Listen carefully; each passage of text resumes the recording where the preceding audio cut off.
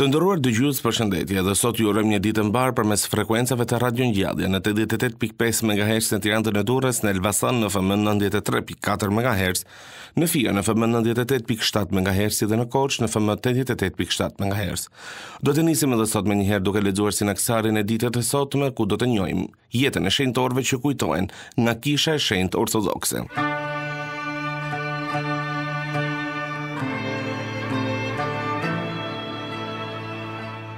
Shenjtori i ditës.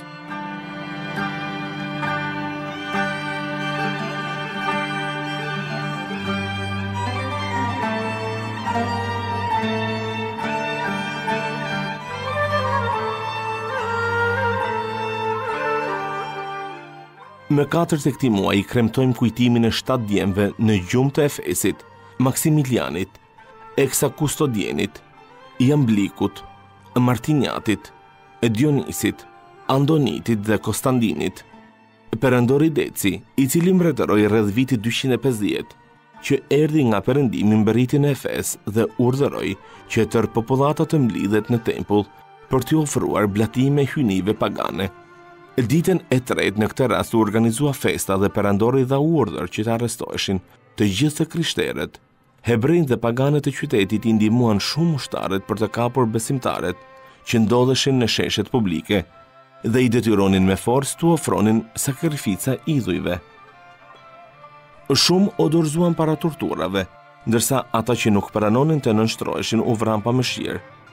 Maksimiliani, biri i prefektit të qytetit dhe gjashtë djem të rinj të familjeve më të njohura të qytetit, të cilët shërbenin si kadetë në ushtri, ishin të hidhëruar për gjendjen dhe po luteshin me lot, më tepër për humbjen e shpirtrave të apostatëve, sesa për martirët. Çdo herë që lajmëronin kryerjen e një sakrifice, ata tërhiqeshin në kishë për t'u lutur. Por kjo sjellje nuk i shpëtoi syve të paganëve, që i denoncuan te guvernatori.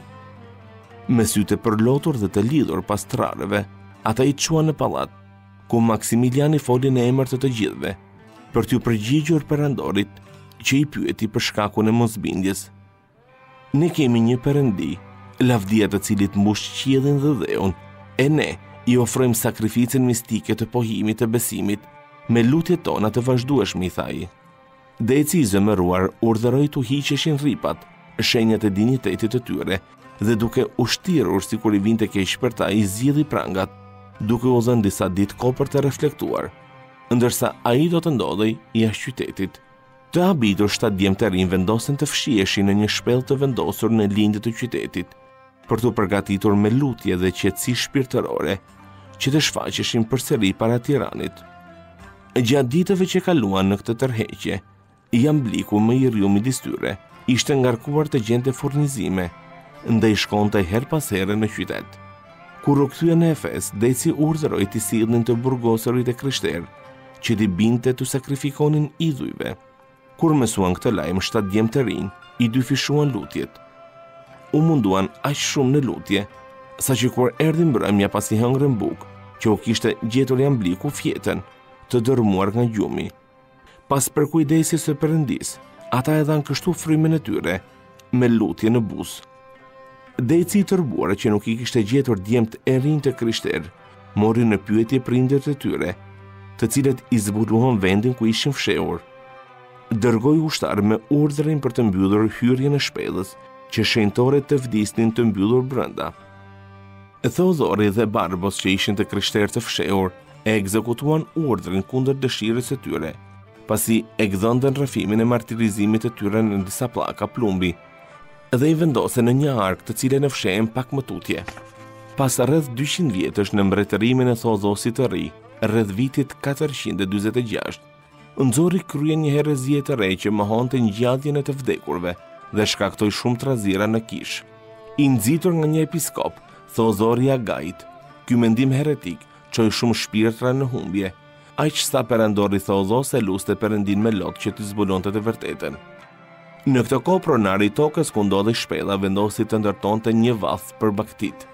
Kur po nxirrte gurë për të ndërtuar vathën, zbuloi hyrjen e shpellës dhe menjëherë të shtatë djemtë u rikthyen në jetë, njësoj sikur të kishin rënë të flinin një natë përpara, pa ndryshuar aspak dhe pa pësuar prishje nga një gjumë aq i gjatë.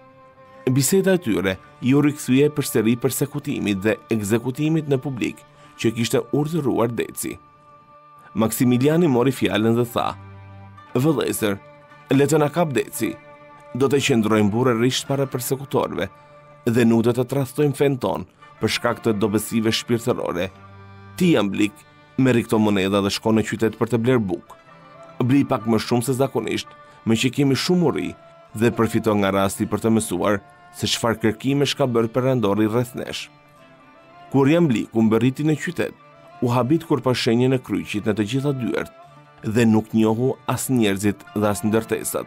Ai pyeti veten nëse po ëndërronte apo nëse kishte përfunduar në një qytet tjetër. Bleu bukë, por kur i dha furrtarit monedhën, ky e pa me vëmendje dhe pyeti nëse kishte gjetur ndonjë thesar, sepse monedha kishte fytyrën e një perandori të dikurshëm. Kur dëgjoi këto fjalë, Jambliku nisi të dridhej nga frika se duke menduar se shitësi do ta dorëzonte tek perandori, deshi të largohej. Por tregtarët e mbajtën dhe e kërcënuan me vdekje, nëse nuk do ta ndante me ta thesarin. I lidhën një litar në qafë dhe e tërhoqën nëpër treg. Në ato çaste turma ndeshi prokonsullin, që po shkonte për vizitë tek episkopi Stefan. Magjistrati i informuar për arsyet e asaj trazire, e pyeti Jamblikun se ku e kishte gjetur thesarin dhe pse e mbante të fshehur. Djali i ri u përgjigj se ai nuk kishte gjetur asgjë, por ato monedha i kishte nga prindërit. Kur e pyetën për prindërit dhe të afërmit, ai u përgjigj: Unë jam nga këtu. Nëse ky qytet është Efesi dhe prindërit e mi janë Filani dhe Filanja, emrat ishin të panjohur për prokonsullin dhe jo të zakontë, ndaj u zemërua dhe nisi ta akuzojë Jamblikun se po e mashtronte. Kur monedhat 200 vjeçare dëshmonin se ai kishte gjetur një thesar. Jambliku ra në këmbët e tij dhe e luti t'i zbulonte se ku ndodhej perandori Deci, Kur i thanë se ky i fundit kishte vdekur prej shumë vitesh, ai i propozoi prokonsullit të shkonin bashkë me ta tek shpella, për t'i treguar se edhe ai dhe shokët ishin arratisur dhe jetonin aty të fshehur për shkak të persekutimit të Decit. Prokonsulli i shoqëruar nga episkopi dhe një turmë e madhe shkoi në shpellë, ku zbuluan pllakat e plumbit, ku ndodheshin të gdhendura emrat e djemve të rinj. Të gjithë pranuan vërtetësinë e mrekullisë dhe lavdëruan me zë të lartë Perëndinë. Prokonsulli dhe episkopi i shkruan perandorit Theodhos, që shfaqja e mrekullueshme e shtatë djemve të rinj, që kishin vdekur prej kohësh, ishte prova e dukshme e ngjalljes së trupave. Perandori shkoi me ngut në Efes, u bëri vizitë djemve të shenjtë dhe u lau këmbët me lot. Pasi treguan për një kohë të gjatë historinë e tyre tek sovrani dhe episkopët e pranishëm, Maksimiliani dhe shokët e tij u shtrinë butësisht në tokë dhe fjetën përfundimisht gjumin e vdekjes. Theodhosi urdhëroi ndërtimin e shtatë sarkofagëve të artë që t'i nderonin djemtë e shenjtë me kremtime të mëdha, ku ftoi të gjithë banorët e Efesit, të pasur e të varfër. Por natën që pasoi, shenjtorët iu shfaqën për t'i kërkuar që t'i linte trupat e tyre në të njëjtin vend në shpellë, në pritje të ngjalljes.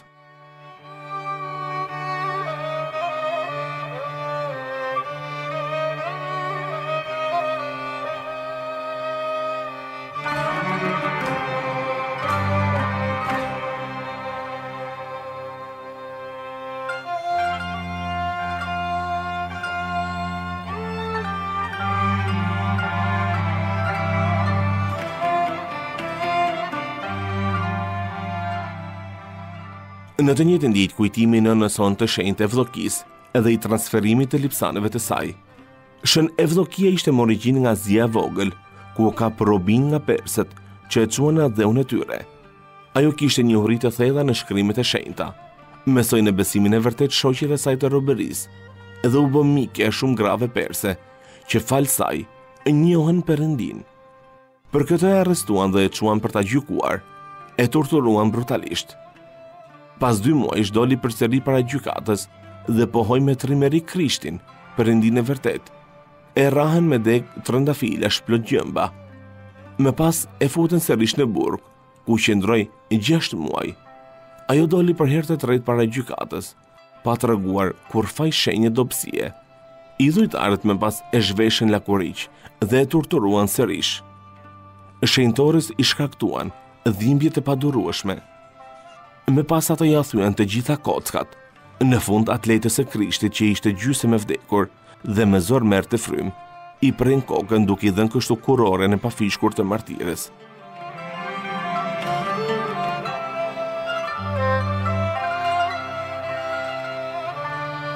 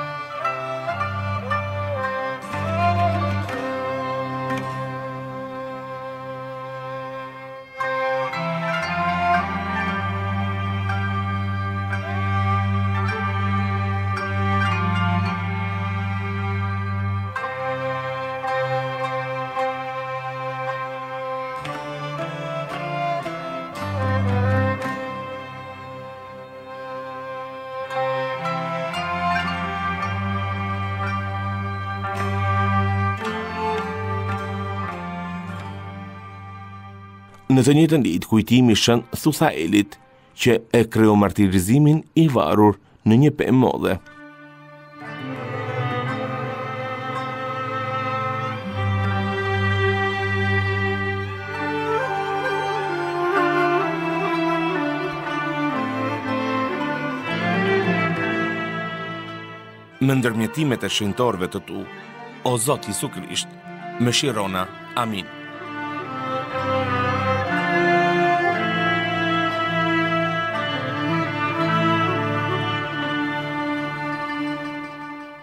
Ndoqët shenjtorin e ditës.